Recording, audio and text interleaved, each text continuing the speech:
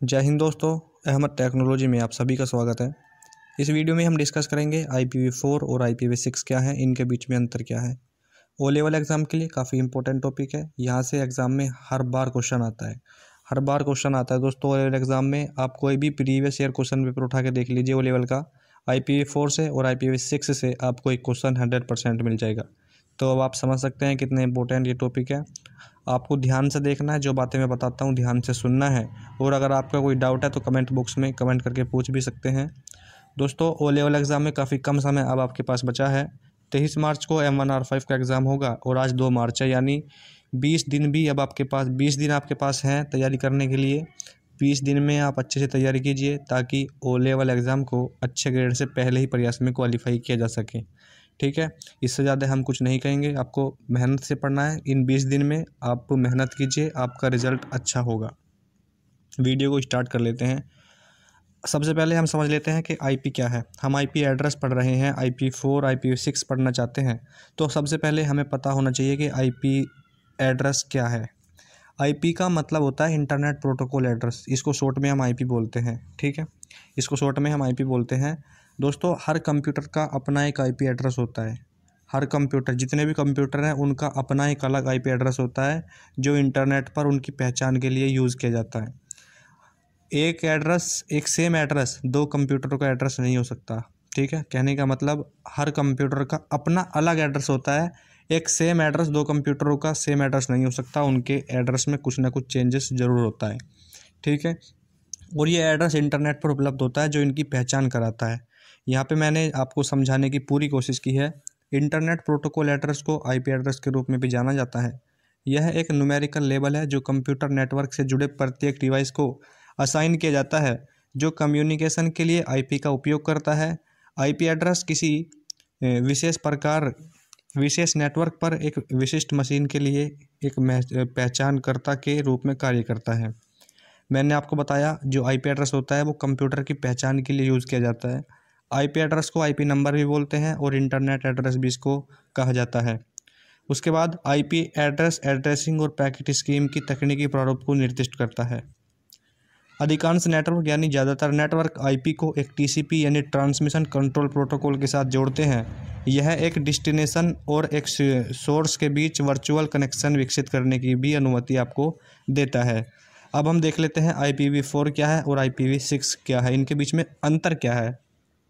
What is I P V four I P V four क्या है I P V four I P का पहला version था आई P V four है दोस्तों ये आई पी का पहला वर्जन था वी का मतलब होता है version I P V V का मतलब हुआ वर्जन इसकी पूरी फुल फॉर्म होती है internet protocol version four I P V four I P का पहला वर्जन था यह उन्नीस सौ तिरासी नाइनटीन एट्टी थ्री में पहली बार अर्पानेट द्वारा इस्तेमाल किया गया था आज आई पी वी फोर सबसे व्यापक यानी फ़ेमस रूप से इस्तेमाल किया जाने वाला आई पी वी वर्जन है इसका उपयोग एड्रेसिंग सिस्टम का उपयोग करके नेटवर्क पर डिवाइस की पहचान करने के लिए किया जाता है, जो मैंने भी आपको बताया है।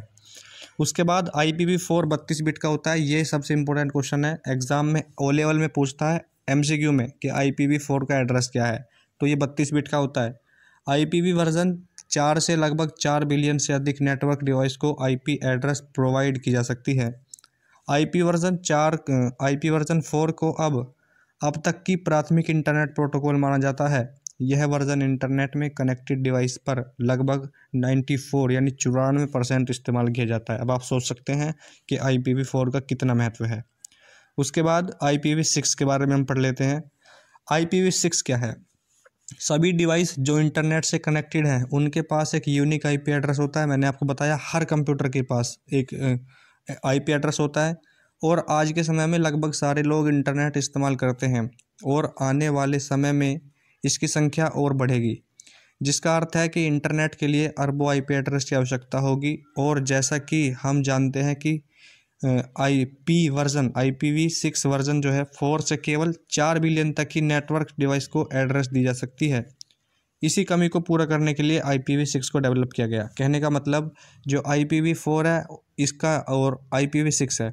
आई पी वी सिक्स को इसलिए बनाया गया क्योंकि आई पी वी फोर अब जो जिस तरह से जनसंख्या बढ़ रही है, उस तरह से इस, इनकी आपूर्ति नहीं की जा सकती, इसलिए आई पी वी सिक्स को डेवलप किया गया है, ठीक है? क्योंकि चार बिलियन तक ही नेटवर्क डिवाइस को आई पी एड्रेस दी जा सकती है, इससे ज़्यादा नहीं।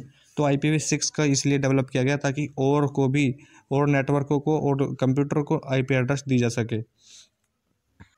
ठीक है दोस्तों, उसके बाद यह आईपी इंटरनेट प्रोटोकॉल का सबसे नवीनतम यानी नया संस्करण है। आई पी वी सिक्स क्या है? न्यू है। और आई पी वी फोर पहला वर्जन था, पुराना है। I P V six new है। इंटरनेट इंजीनियर टास्क फोर्स ने इसे उन्नीस सौ चौरानवे में, अगर पूछे कि इसकी स्थापना कब हुई थी तो नाइनटीन नाइन्टी फोर की शुरुआत में शुरू किया गया था ये। और अधिक इंटरनेट आईपी एड्रेस की आवश्यकता को पूरा करने के लिए यह नया आईपी वर्जन को डेवलप डेवलप किया जा रहा है। इसका उद्देश्य उन कमियों को पूरा करना था जो आई पी फोर में थी। आई पी वी सिक्स एक सौ अट्ठाईस बिट का होता है। इंपॉर्टेंट क्वेश्चन ने हाईलाइट किया है। आई पी वी सिक्स एक सौ अट्ठाईस बिट का होता है। ये एम सी क्यू में ज़्यादा क्वेश्चन पूछा जाता है। और इससे लगभग तीन सौ चालीस अनडिक्लियन नेटवर्क डिवाइस को unique I P address provide किया जा सकता है। ठीक है? कितनों को? तीन सौ चालीस अनडि अनडिक्लियन नेटवर्क डिवाइस को unique I P address provide किया जा सकता है। आई पी वी सिक्स को I I P internet protocol की अगली पीढ़ी भी यूज़ कर सकती है जो आने वाली पीढ़ी है जैसा कि हमने अभी तक जाना कि आई पी वी फोर और आई पी वी सिक्स दोनों ही एक प्रकार के आई पी एड्रेस हैं I P V four I P address में बत्तीस बिट होती है जबकि आई पी वी सिक्स में एक सौ अट्ठाईस बिट होते हैं उसके बाद I P V four address को कोलन से डॉट से अलग किया जाता है जबकि आई पी वी सिक्स को I P V six address को कोलन से अलग किया जाता है दोनों प्रकार के आईपी एड्रेस का उपयोग नेटवर्क और उनसे जुड़ी हुई मशीन यानी जो कंप्यूटर है जितनी भी मशीन है उनकी पहचान करने के लिए इसका यूज़ किया जाता है। इसका आप स्क्रीनशॉट ले सकते हैं। अगर अंतर आया एग्ज़ाम में तो इस, इसी तरह से आप लिख सकते हैं। इसमें एक सौ अट्ठाईस बिट होते हैं लंबाई का एड्रेस होता है। इसमें बत्तीस बिट होते हैं लंबाई का एड्रेस होता है ये इनकी ठीक है? आई पी एड्रेस एक बाइनरी संख्या होती है जिसे हेक्साडेसिमल में प्रदर्शित किया जाता है। आई पी फोर एड्रेस भी बाइनरी संख्या होती है, जिसे डेसिमल में प्रदर्शित किया जाता है। इसमें फ्रैग फ्रैगमिनेशन केवल सेंडर के द्वारा की जाती है, और इसमें फ्रैगमिनेशन सेंडर तथा फॉरवर्डिंग राउटर दोनों के द्वारा की जाती है। इस, यह मोबाइल नेटवर्क के लिए ज़्यादा अनुकूल है, यह मोबाइल नेटवर्क के लिए थोड़ा कम अनुकूल है। इसमें हेडर फ़ील्ड की संख्या आठ है, इसमें हेडर फ़ील्ड की संख्या बारह होती है, इसकी शुरुआत उन्नीस सौ निन्यानवे में हुई थी, और इसकी शुरुआत उन्नीस सौ इक्यासी में हुई थी, ठीक है? तो ये कॉमन कॉमन सी बातें हैं, इसको आप याद कर सकते हैं, लिख सकते हैं, आपके याद हो जाएगा। ओ लेवल एग्ज़ाम में भाई यहाँ से हंड्रेड परसेंट क्वेश्चन आएगा, ये गारंटी है।